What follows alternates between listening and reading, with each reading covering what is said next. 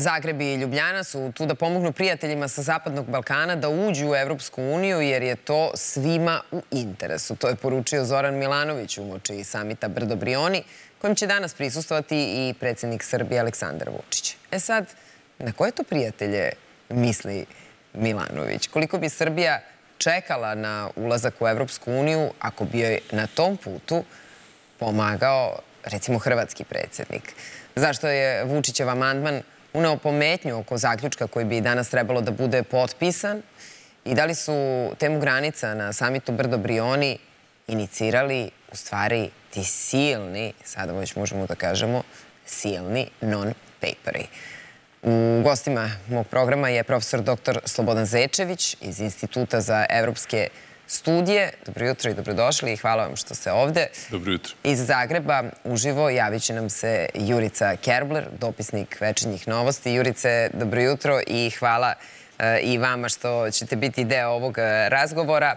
Dakle, kada se e, priča o onome što će se danas dešavati na samitu, danas je buran dan u agendi predsednika Vučića. Sigurno. Da, s obzirom da će ceo dan da se završi, tri zemlje će obići danas. E, u toj sredini će imati sastanak sa gospodinom Stoltenbergom iz NATO-a, koji takođe je važan za sve te non-papere i celu ovu e, priču, ali kada pričamo o ovom poslednjem nemačkom, sad ga svi nazivaju nemački jer je u svanu u njihovim novinama. Autori su naravno nepoznati, to što ne treba da, da, da naglašavamo.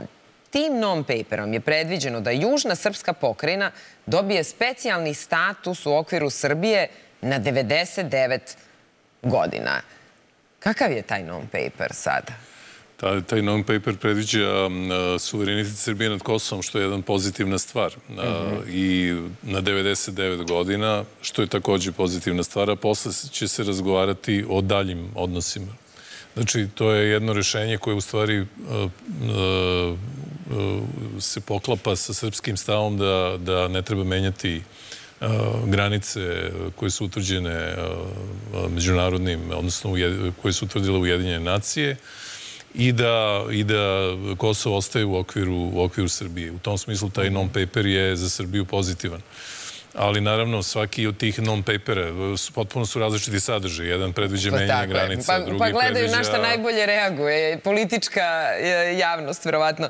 Dakle, na ovaj poslednji taj non-paper koji ima Uh, koji ima uh, 16, kako kažu, tačaka. Naravno, nemački ovaj list je imao uvid u taj non-paper, nepoznatog porekla. Uh, dakle, kažu da on predstavlja mali diplomatski podvig, čini mi se, jer ne krši rezoluciju 1244. Prema tom non-paperu, svi građani Kosova, a posebno se pominje 873.000 kosovskih albanaca, treba da dobiju državljanstvo Srbije, odmah, automatski, pa se onda predlaže da na Kosovu i u Srbiji u aprilu sledeće godine budu održani zajednički E, izbori, da izabrani guverner Kosova, sad guverner, da, to je sad no, novi termin koji se e, ubacuje u politički život, da taj, e, ta osoba bi trebalo da bude i zamenik predsednika Narodne skupštine.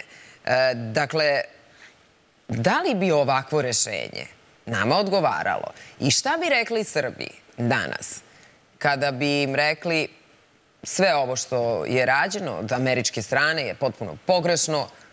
Izvinjavamo se, Kosovo je deo Srbije. Dajte 873.000 pasoša i državljanastava i da imate za podpredsjednika Skupštine, recimo koga, Kurtija, jel? Jel bi nam to odgovaralo? Da vam kažem, e, što se tiče, e, o taj non-paper sredi jednu logiku. Logika je ako je, Kosovo, ako je Kosovo deo Srbije, znači onda su i Albanci koji žive na Kosovu građani Srbije i oni moraju da dobiju, logično, da tako? dobiju, tako je, moraju da dobiju srpsko državljanstvo i e, šta je tu interesantno? Oni bi izgleda učestvovali samo na, na izborima na Kosovu i birali bi guvernera. Taj guverner, taj termin guverner podsjeća na američki termin guvernera država koje su članice Američke federacije. Ovo bi bilo neko rešenje u smislu da bi Kosovo ostalo formalno u sastavu, u sastavu Srbije, da bi Albanci dobili mogućnost da putuju kao i građani Srbije i da bi to bio jedan okvir za normalizaciju ekonomskih odnosa između Beograda i Prištine. Ma šta bi rekla desnica u Srbiji koja sad kaže pa desnica Kosovo je... bi pozdravila, da vam kažem ja iskreno. Pa zato što, zato što Kosovo ostaje deo Srbije. Znači, najveća opasnost za desnicu u Srbiji jeste da se Kosovo ocepi od Srbije. U ovom mm -hmm. slučaju Veća nego da 873.000 Albanaca dobije srpski pasoš. Pa, znate što, ja sam razgovarao sa nekim desno orijentisanim, do duše, ovaj, više intelektualcima. Oni, oni znaju da, da u slučaju da Kosovo ostane u Srbiji, Albanci ne mogu biti građani drugog reda. Oni moraju dobiti državljanstvo Srbije. Da.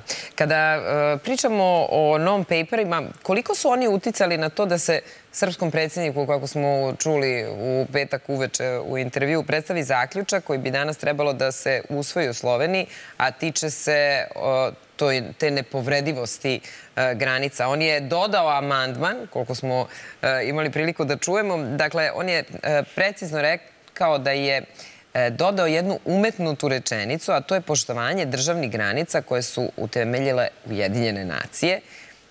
Šta tu ima ko da ne prihvati i s kojim pravom? Kako da ne prihvati? Pa kako da prihvati? To znači da opet da Kosovo ostaje u sastavu Srbije, a mhm. nezavisno Kosovo su priznali svi. Ali čekajte, predsjednik države kaže samo poštujte institucije, je li tako? A znate šta je to licemerije? Pa jeste, ali kako ćemo objasniti da neće da poštuju? Kad je reč o nepromenjivosti granica, znači to je jedan opšti haos i licemerije. Mhm. Zašto? Zato što i sam predsjednik Srbije je to rekao. granice Jugoslavije su menjane više puta. Mhm. Više puta. A Jugoslavija je u stvari jedina država koja je imala neki legitimitet koji je izašla iz Prvog i Drugog svetskog rata kao nekakva zvanično priznata država u Evropi. Oni su više puta menjali te granice. Onda smo došli sada do, do, do granice Srbije. I sad ovaj poslednji slovenački predlog, znate šta, u čemu se sastoji? U čemu? Da promenimo granice Srbije i da svi vičemo da su granice nepromenjive. Eto, to je suština slovenačkog predloga. I ja mislim da oni tu ne bi stali. Znači, sledeći put bi ocepili neki drugi deo Srbije, onda bi opet organizovali brdo Brioni i rekli bi nepromenjive su granice. Koje granice više ne znamo. To je, taj, to je takozvana a, politika bez kraja, cepanja Jugoslavije, cepanja Srbije na što manje delove. I mislim da predsjednik Srbije to želi da zaustavi i kaže, dobro, u redu, onda u granicama Srbije koje su inače priznate od strane Ujedinjih nacija. Jurice, Evo, slušali ste i kod nas se mnogo priča o tim non-paperima i kod nas se takođe priča i o tome šta će se dešavati tokom današnjeg dana. Neće to dugo trajati. Dakle, naš predsjednik je, ja mislim, e, jutros, od jutros e, bi trebalo da je na brdu kod Kranja. Dakle, onda će biti tu nekih par sati i ide za Brisel, ide na e, podnevni sastanak sa Jensom Stoltenbergom. Kakve su reakcije na sve ono što ste, pretpostavljam, videli da piše i u srpskim medijima? Šta je najaktuelnije, osim izbora vaših lokalnih, o kojima ćemo pričati e, malo kasnije, šta je najaktuelnije, a tiče se ovog samita? E, kao novinar ja sam pratio većinu ovih susreta inicijative Brdo Brijuni još dok je predsjednik Ivo Josipović sa Borutom Pahorom to pokrenuo. Uh -huh. e, to je jedan od onih skupova gdje se ponavljaju fraze koje inače slušamo godinama kada je riječ o proširenju Europske unije na jugoistok Europe. Na tom, na tom skupu dakle, koji se održava malo u Hrvatskoj, malo u Sloveniji, nažalost nikad nije pokrenuta neka inicijativa koja bi e, u Europskoj uniji nešto posebno značilo. Mi moramo biti svjesni činjenice da danas ni Slovenija ni Hrvatska nemaju velike utjecaje u Briselu i u sklopu te evropske porodice Tako da pretpostavljam da će ovaj današnji skup biti samo jedan u nizu sličnih gdje će se ponoviti uvijek opet ovo što slušamo stalno, dakle da se Europska unija mora proširiti što prije na jugoistok Europe, da zemlje moraju ispuniti kriterije i tako dalje. Mhm. Ali bojim se da, e, da ništa od svega toga što ćemo i danas čuti neće utjecati niti na proširenje Europske unije na jugoistok i da još jako dugo Europska Europska unija neće ozbiljno razmišljati o prijemu novih članica. To nam je jasno svima, ali mi nije jasno, dakle, ako je to skup takav kakav vi kažete, čemu onda e, ta inicijativa i insistiranje na tom nekom e, papiru, dakle, da e, treba da se predstavi zaključak koji treba da se usvoji u Sloveniji, tiče se nepovredivosti granica. Ko je inicirao, ko je inicirao taj papir, odnosno taj zaključak?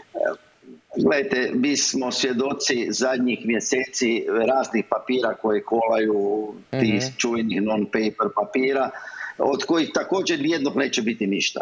Dakle, sve te e, kalkulacije e, pašće u vodu, potpuno je jasno da će e, i dalje velike sile voditi bitku na jugoistoku Europe, a znamo i stavove Amerike, znamo i stavove na kraju krajeva i većine zemalja Europske unije. Tako da od svih ovih e, kalkulacija koje se sad spominju u posljednje vrijeme neće biti ništa. Europska unija će tražiti od svih kandidatkinja ispunjavanje svih onih kriterija koji su do sada poznati. Dayton će i dalje ostati temelj za rješavanje Bosne i Hercegovine tako da ne vjerujem ni da će današnji skup na Brdu kod Kranja donijeti ništa spektakularno novo. Dobro, ali je isto tako slovenački predsjednik prošetao po regionu, obavio razgovore, sastanke i onda kaže evo ajmo, izvolite, ovo je papir da se donese neki zaključak. Dakle, ne deluje protokolarno, barem, evo recimo, gradit ću se reći, ne meni, nego mi deluje kao da tu postoji neki plan i da se sprovodi nekakav nečiji plan. Osobno mislim da nije tako. -hmm. Dobro. E, mislim da, da e, sve ove dakle, e, kombinacije s tim non-paperima mhm. neće, neće u konačnici igrati ulogu i da će biti puno danas važniji sastanak koji će predsjednik Vučić imati sa šefom NATO-a nego što će sudjelovati na ovom skupu na Brdu kod Kranja. Recite mi, a kako, kako u svemu tome, mislim, interesantne su izjave Milanovića, hrvatskog predsjednika, Dakle, e, čini se da, da bi mogao mnogo da nam pomogne na putu ka Evropskoj uniji, jel da? E, gledajte, e, položaj Hrvatske u Evropske uniji isto jedno pitanje koje je vrlo zanimljivo. Dakle, mhm. kada je Brisel primao Hrvatsku, kada su se zemlje usaglasile da napokon prime Hrvatsku, oni su imali jedan od planova da Hrvatska bude na neki način most između te zapadne Europe i jugoistoka Europe. Dakle, da Hrvatska bude pozitivni primjer da se reforme isplate. Sada, toliko godina posle prijema Hrvatskoj u Europsku uniju, je jasno da je to sve propalo. Niti, se, e, niti je Hrvatska primjer, niti su se reforme Hrvatskoj isplatile. Dakle, e, Hrvatska sigurno nije zemlja koja će voditi za ruku buduće članice Europske unije, niti će Beograd, Podgorica ili bilo ko gledati u Hrvatskoj e, zemlju preko koje može e, lakše ući Evropsku uniju. Odlučuju veliki igrači, Hrvatska je samo tu mali igrač i sigurno neće biti ni to da će preko Hrvatske Srbija lakše ući u Europsku uniju, kao što neće u konačnici biti ni to da će Hrvatska moći zakočiti bilo koga na, na putu za članstvo. Dobro, pa ali nekako meni zvuči malo, ajde kako kako bih to rekla, pa malo, malo neuobičajeno i nije u skladu sa Milanovićevim izjavama kada je reč o, o našoj aktuelnoj e, vlasti. Dakle, e, dakle, da li je Milanović, aj ovako da vas pitam, i njegova politička opcija prijatelj sa Srbijom i političkom opcijom koja je na vlasti u našoj zemlji? Pa znate, govoriti o Zoranu Milanoviću je jako teško. Sigurno ste pratili sve ove cirkuse koji su na hrvatskoj političkoj sceni. E, nešto meni nevjerojatno. Ja sam dugo u politici, pratim politiku. Nikad nisam vidio to što se događa E, na političkom planu Hrvatske u ovom trenutku, e, a mislim da to je nezabilježeno i u Europi. Dakle, retorika Zorana Milanovića apsolutno je nešto što se ne pamti u političkom životu Europe. Tako da govoriti i o odnosima Zorana Milanovića kada je riječ o vanjskoj politici je jako teško. On često ponavlja kada je riječ o Srbiji da je tu Beogradska čaršija, na vrijeđat, to je njegov stil. Hoće li on sa Aleksandrom Vučićem jedanput sjesti za stol, vidjet ćemo.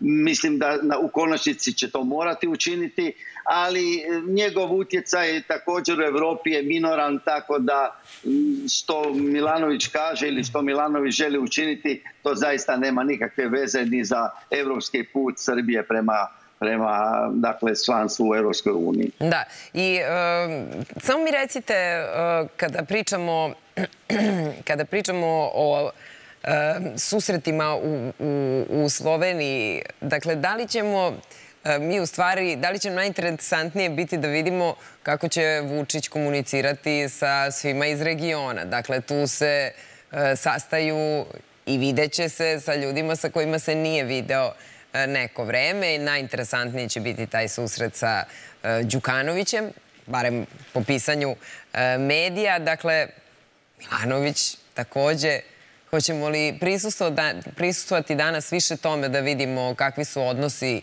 ljudski nego politički?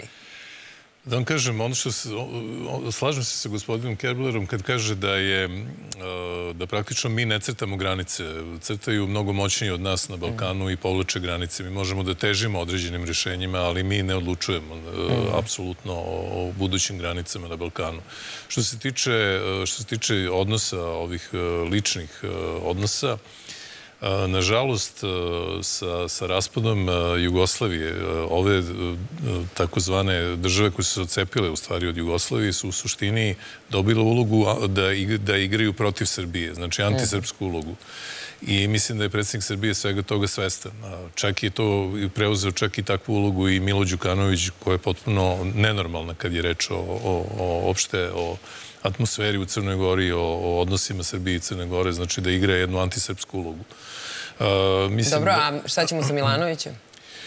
Pa Milanović je, kako da vam kažem, ono što i opet gospodin Kerbler dobro kaže, Hrvatska ne može da zaustavi Srbiju na putu ka Evropskoj uniji, ali može da joj smeta, može da joj pravi probleme. Znači, to je, to je, to je sigurno.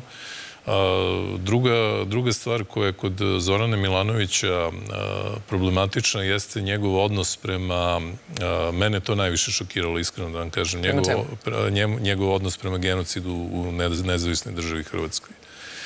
Hrvatska ne može i dalje da, da nađe to svoje mesto, odnosno ne može kao recimo Nemačka ili Austrija da kaže da, nezavisna država Hrvatska je počinila genocid na Srbima jer su Srbi bili glavna, glavna meta NDH, nisu bili jevreji, oni sad pokušavaju da zabašure stvari, da kažu da, su, da je jevrejski narod kao bio... bio glavna meta NDH, zato što pa su da, ali da li bi se, zna, da, pa znam, pa pričali smo o svemu tomu, nego me interesuje, pitala sam vas, da li bi u, tim, u tom susretu Vučić-Milanović Mislim, sigurno ne bi bilo reči o tome. Sigurno ne bi jedan drugom rekli, je što si pa ti... Dobro, bit ću... Hoću vam kažem, danas, Kad se budu videli... Danas za mene najopasnije što može da se dogodi danas je šta? je da, uh, da se usvoji jedna deklaracija Dobro. gde bi se insistiralo da svi, sve države Zapadnog Balkana, znači ovih šest, koje oni vode i Kosovo kao, dr, mhm. treba zajedno da uđu u Evropsku uniju. To je za mene najveća opasnost. Zato što su situacije na tim, u tim državama toliko različite i toliko su svi na različitom nivou u procesu evropskih integracija, da bi ta vrsta uravnilovke trajno zakočila proces evropske integracije, recimo Srbije, za dugi niz godina. Ako pogledate stanje na Kosovu, ako pogledate stanje u Makedoniji, ako pogledate stanje u Albaniji, i uopšte ne vidim šta je svrha takve inicijative jer uh, niti je Slovenija ušla isto kad, u isto, istog dana kad i Hrvatska, niti je Hrvatska istog dana ušla kad i Rumunija i Bugarska.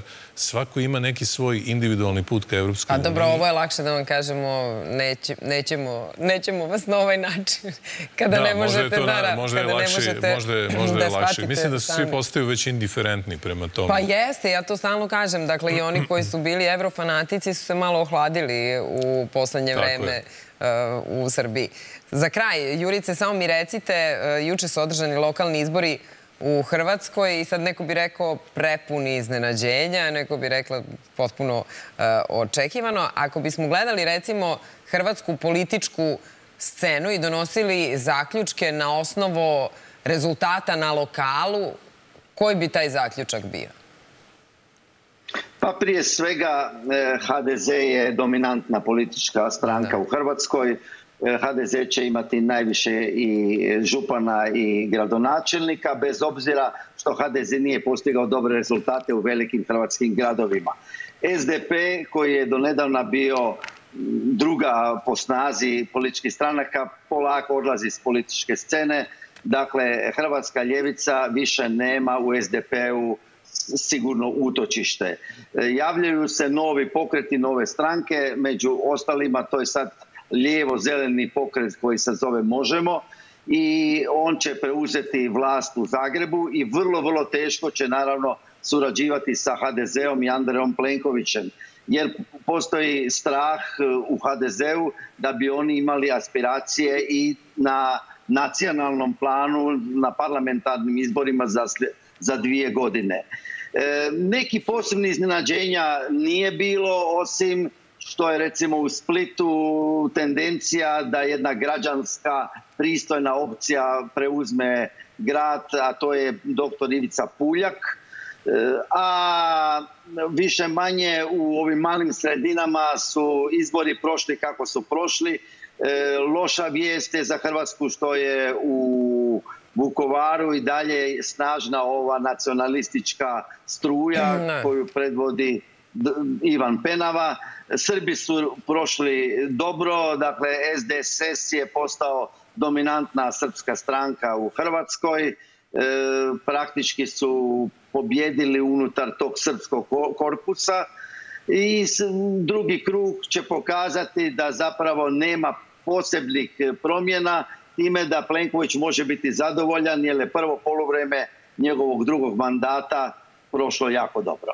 Dobro, mnogo vam hvala na uključenju i hvala što ste komentarisali za uranak sve ono što se dešava u regionu. Hvala e, i vama, profesore, što ste bili u uranku, a čini mi se da ćemo imati više informacija sutra ujutru, pa će i ovi razgovori biti jednostavniji. Da, sad je sve na osnovu pretpostavki.